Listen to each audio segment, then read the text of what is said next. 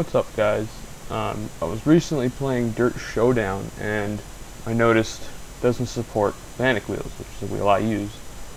Um, I've noticed, I was looking at reviews and forums, and apparently it doesn't support a lot of wheels. I mean, um, Dirt 3 and Dirt 2 supported more wheels in this game, but there is a, a loop around where you can fix that, and it's pretty simple. You want to go to your Showdown file, which is on, if it's on Steam, you have to go to your Steam apps. So you want to go to Steam in Program Files 86, and then you'll see Steam Apps,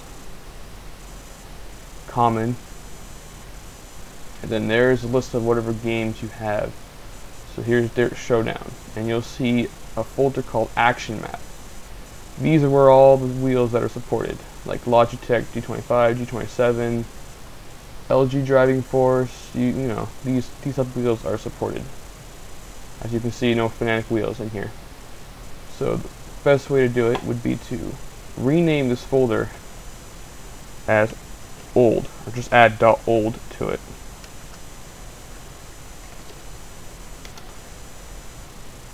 Once you do that, you're going to want to find your Dirt 3.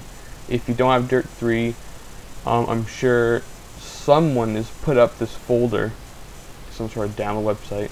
It's the Dirt 3 Action Map folder. If not, install the game. It's a great game. It's probably a good price on Steam right now. I, however, downloaded it from a CD, so mine is in a different folder.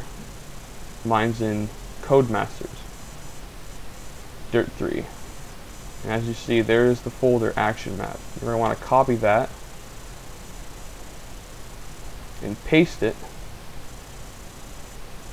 into the Dirt Showdown folder. And you can leave the old folder there just for so the game can run. I haven't actually taken the folder out, but I'm just I was I read it to leave the folder there, and this game will now run with Fanatec wheels. As you can see, any wheel that's in this list is now will be supported in the presence in the game. There's a lot more wheels in this folder.